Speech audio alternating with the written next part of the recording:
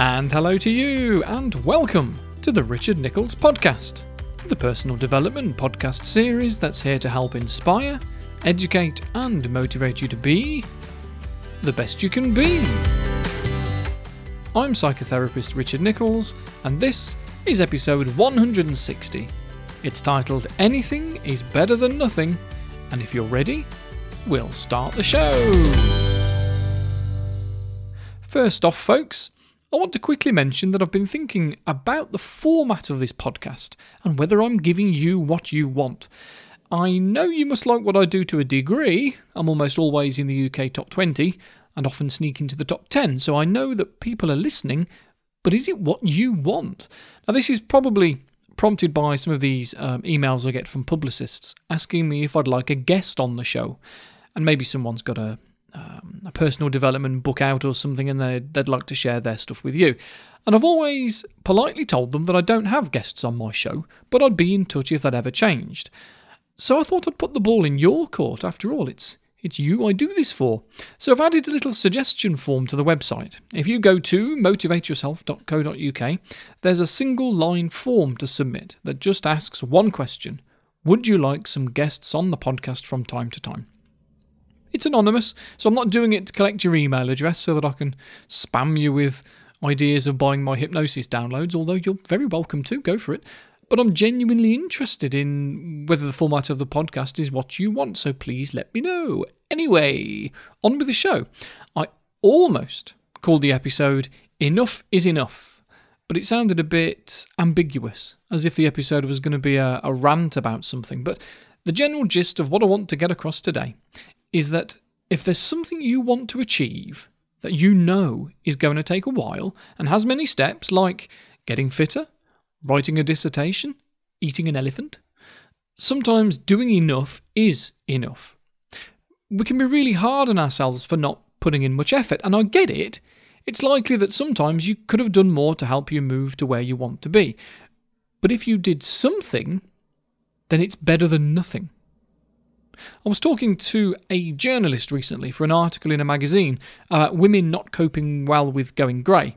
And a phrase cropped up that I tend to use a, a lot in loads of different situations. And it was this We shouldn't be comparing someone else's best with our worst. And there are personal trainers all over Instagram who are super fit and they're advertising their business by showing people how to do certain exercises to get fitter themselves. And clients will sometimes say to me that rather than being inspired by Joe Wicks or whoever, um, even Tom Daley, the diver, has a YouTube channel where he gives advice on exercises. And rather than being inspired by them, it's too easy to look at what they've achieved themselves and think, well, what's the point in trying? I can never look like that. Well, no, probably not. And I'll go as far as to say that almost 100% of anyone who is unfit and either overweight or underweight is not going to look like Tom Daley or Joe Wicks if they follow their exercises. Tom Daley is literally an Olympian. And Joe Wicks did not get that six pack from doing star jumps and burpees. You know, there's um, there's two personal trainers. Actually, I'll probably follow a few, but there's two that jump out at me. There's a couple of um, these fitness people that I follow on Instagram. One is a lady called Oenone Forbat. She sometimes calls herself the Tiny Tank, and she has a podcast called Adulting. She'll post these typical Instagrammy stuff, you know, oh, look, here's my healthy lunch. Here's me at the beach. Oh, look, time for a gin and tonic. All ordinary, ordinary sort of Instagram stuff. And she's a very healthy shape and size. And then she'll put up a video of her deadlifting weights doing 30 or 40 tricep dips, bicep curls, and incline dumbbell chest flies. And you go, whoa, that's, that's tough. That's hard work. And yeah, if you're going to live like that for an hour per day, you are going to look like a pumped up Sarah Connor, all right? But like I say, close to 100% of people who want to make some changes to their fitness levels aren't going to achieve that. And that's okay. There's another guy I follow on Instagram, guy called Adam Berry, the gym starter. He has a podcast called the Fit Stop Pod. I was a guest on it in February. Check it out. He's a really nice guy. He's a personal trainer. He's fit, really fit. But he doesn't need to look like Joe Wicks to run the London Marathon like he, he did in April, finishing in five and a half hours. He had heart surgery as a kid because of pulmonary stenosis, and he's happy to show you all his scars. And I, it fascinates me because I uh, it, can you imagine the, the fear of knowing that because he'd had a, he's got a heart condition and seeing the reminders on his body every day growing up, that could easily prevent him from pushing himself at all. And if he'd let that hold him back, he wouldn't have run the marathon, would he? He wouldn't be super fit, and he wouldn't be working as a personal trainer with a story to tell about his journey. Doing enough is enough. Doing anything is better than nothing. And this isn't just about physical health, this is about everything. Clients come to me because they feel unable to move away from something that they are doing or move towards something that they're not. We need to know that any movement is better than no movement. If someone has severe depression, and it's not unusual for them to be in bed all weekend, to feel unable to leave the room, they can't only have the goal of being the the happy clappy isn't the world a wonderful great yay sort of character that's unrealistic. If that's their goal then they won't even notice any improvement that they do make because they're still not who they feel that they should be. And it's okay in that situation to set a small goal of simply i don't know making a cup of tea or maybe even that's a step too far. Fine that's okay don't add more stress to your life by telling yourself how crap you are because you couldn't even make a cup of tea. Our brains are complex, frighteningly complicated. We we hardly understand any of it. In fact, the more that we learn about it, the more we discover that there's more yet to learn. And if neurons in the brain are misfiring, if our mind is foggy and dulled by anxiety and depression, it's okay to shift our goalposts or even take them down for a bit and just play it by ear. Maybe the issue with it is patience that we. No. No, it's not. Not really. That might be a part of it. But I think a bigger issue is self respect. Yeah. If we can accept that something is hard for us, even if it is something that could be easy to someone else, it's hard to you. And that's okay. And because it's hard, it's going to take you a while. But whatever you do that moves you towards where you want to be is a step in the right direction, even if it sometimes looks as if you're moving backwards. It's like it's like football. I didn't mean to bring football up into the podcast. I'm I'm not a fan. I've said it before, but of course it was a it was a bit different this tournament, wasn't it? Last month, even non-football fans were watching England with one eye, hoping that they'd do well, even if they said they didn't care. And I totally understand that. I was quite emotional about them getting through to the semi-finals. I guess this is the uh, this is the tangent for today's episode, clearly, because this was weird to me, genuinely strange. I'm not interested in football, so why am I emotional about seeing England going through to the semis? It was because just because I don't care doesn't mean I'm ignorant to those that do.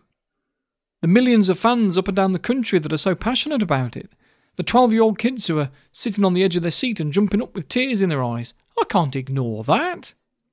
It's maybe the same reason why my wife was watching the royal wedding the other month, when she isn't in the slightest bit interested in the royal family.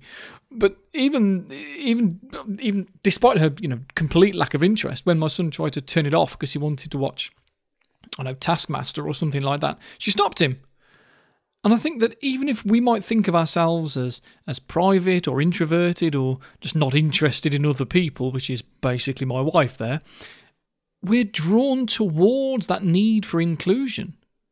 Quite a lot of what you might think of as evolutionary psychology is misquoted and exaggerated.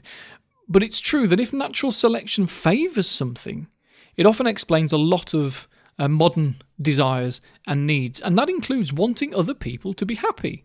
And it's probably the reason why we've developed empathy over these last half a million years or more. So, as for needing to be okay with taking things one step at a time in order to get somewhere, and this is why football popped into my head, watching the quarter-finals, my wife was frustrated that players were passing the ball in the wrong direction.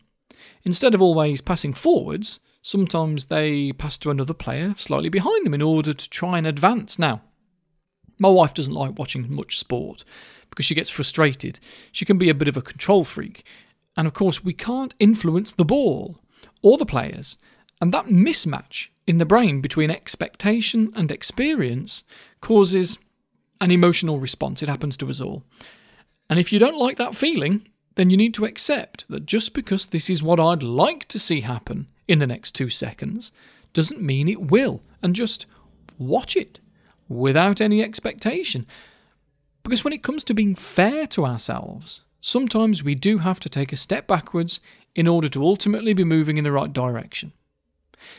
In most situations in life, whether that's decorating your house, revising for an exam, or overcoming anxiety and depression, there is usually more that could be done to move you further ahead. But that doesn't mean you have to do more. Sometimes just doing enough is actually enough because anything is better than nothing.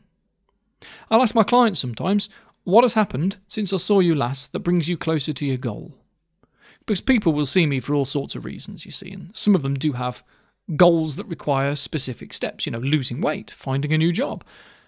But if they tell me that they've done nothing since I saw them last, we look a little closer. Many times they're doing plenty, they just don't recognise it. Because it didn't come with any sense of achievement, but they still worked towards their goal. And we're all guilty of it, I think. I it's happened to me last week. I, I picked my son up from school just because they they recently finished, and one of one of his last days at school, I picked him up because he was finishing at a different time, and we were just chatting on the way home. I asked him about his day, and he asked me about mine, and he must have said something like, "So what have you done today?" And I'd been working from home. I'd had one online client, which was an hour, and then nothing else. But I hadn't stopped.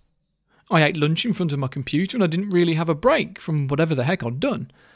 But there was nothing to show for it. And I said, Oh, apart from one client, I think I just spent the day fannying around. Which I've discovered is not a phrase you want to use with a 13 year old boy who's trying to drink from a water bottle in the passenger seat of your car. But anyway, sometimes we don't have anything to show for our efforts.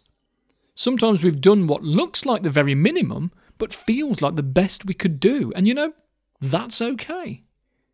Even in relationships, people will sometimes feel as if their relationship is stagnating because they don't see love from their partner, or respect, or attention, or whatever. And sometimes those things are there. It's just for whatever reason you've stopped seeing them. Familiarity, maybe. But any respect is better than no respect. Any love is better than no love, providing it's a healthy relationship. Any date night is better than no date night, even if it is just a pint and a packet of crisps, because you've only got a childminder for an hour. It's better than nothing. It's the same with our finances. Be grateful for what you do have. Even if your goal is to be earning more, what you have is still better than nothing. Especially here in the UK, it might sometimes look as if the country is falling apart, but we're still one of the wealthiest countries in the world. Yes, people have to use food banks because the system needs fixing, but the fact that we have people with enough spare cash to help fund those food banks means we're doing all right on the whole. And for every packet of sanitary towels that you take to the food bank, because we often forget about things like that, and believe me, that would be appreciated, you can make a difference. Not a massive difference, maybe just a drop in the ocean, but anything is better than nothing. Look, it's time to finish off, folks. In between now and next time, please do keep in touch. I'm on Twitter, Instagram, and Facebook, and links are in the show notes. Feel free to follow me and watch my crazy antics. So crazy! Wow! You'll not realise I'm the same guy. Last month I went to the zoo. Things got so crazy watched some people talk about the conservation of apes and monkeys and drank some wine. It was crazy times. Crazy times. So, yeah, follow that. I'm exaggerating. I, I do post fairly interesting things as well. I, I hope I do anyway. But anyway, we, we can all chat that way, which is nice. So, sure, follow me on Twitter, Facebook, or Instagram, and we can all spread the word about a happy attitude to life. See you next time, folks. Bye bye.